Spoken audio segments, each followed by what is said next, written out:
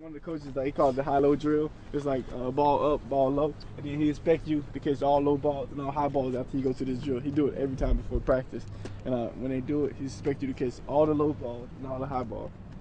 So we just form a circle. And I'm gonna throw the ball low. We just get fingertips under the ball. When you when he go through this drill, he's at doing practice, he expect you to catch all low balls and all high balls.